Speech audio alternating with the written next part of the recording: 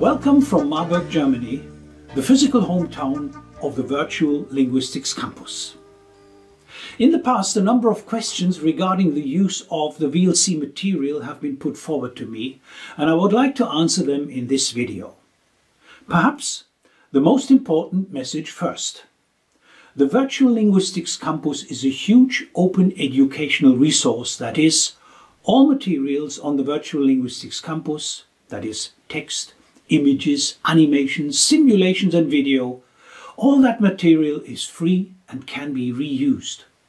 All you have to mention is the author, which is of course the Virtual Linguistics Campus, the exact reference, for example, VLC 104 Unit Computational Morphology, and the URL of that reference, which can be copied from your browser's address bar. And all our videos on YouTube are licensed as Creative Commons with the addition BY, which means by, that is authorship.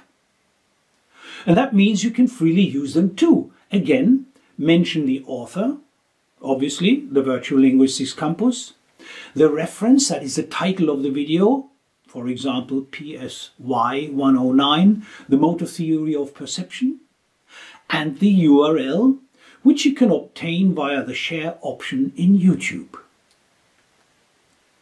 On the Virtual Linguistics Campus itself, the material has been packed into different so-called repositories.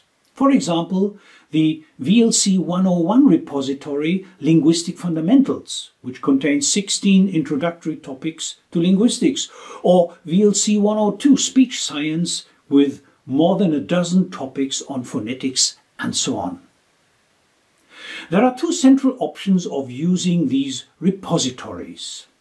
Option number one, you want to use a repository as a student. This is the most common option. It requires that you first register on the VLC and then self-enroll to your repository, let's say VLC 102 Speech Science. Once enrolled, you can freely use the repository as an online course, as a source of information, or simply to download parts of the course for further use. You have access to all options, to the how to proceed instructions at the beginning of a topic, to the mastery tests, to the suggestions for in-class activities, and of course, to the main content activities. In each repository, you can earn your digital badges, and if you wish, you can get the statement of accomplishment, which even specifies the workload if your total score is higher than 70%. Do whatever you intend to do. There's no obligation whatsoever, and of course, no fees. That's the policy of the Open Educational Resource Program. But there is still a second option.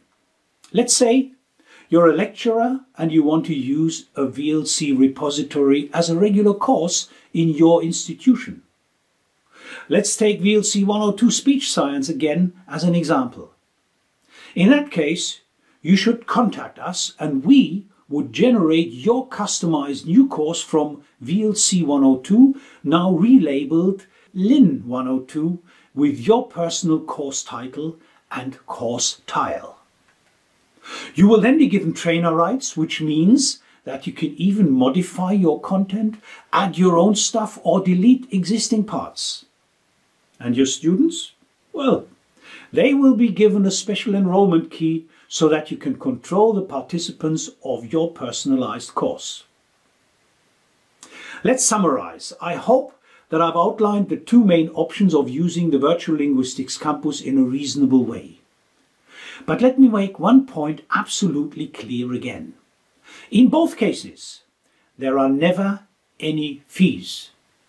There are no restrictions on what you do, let alone any obligations. Our central principle is make an offer to all of you using multimedia where possible, video combined with text where suitable, and make access to the materials as simple as possible. Well, that's it. The rest is up to you. Thanks for your attention and see you on the Virtual Linguistics Campus in one way or another.